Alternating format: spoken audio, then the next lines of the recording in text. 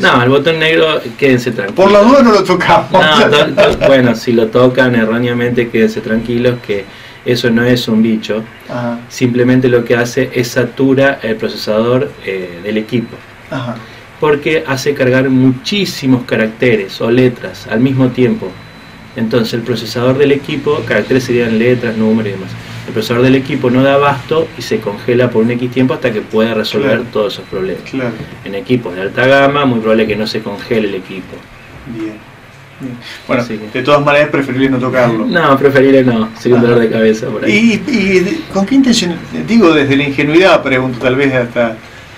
Pero ¿con qué intencionalidad se hace? Y la gente hoy en día es, es muy rara, desde cadenas falsas de WhatsApp hasta estas cosas eh, Ajá. Pueden ser variadas, ¿no? Ajá.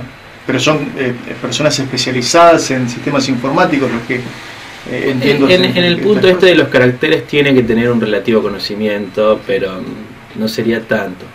Ahora, el malware este que estamos hablando, sí, tienen que tener muchísimo conocimiento, ¿cierto? Ujú.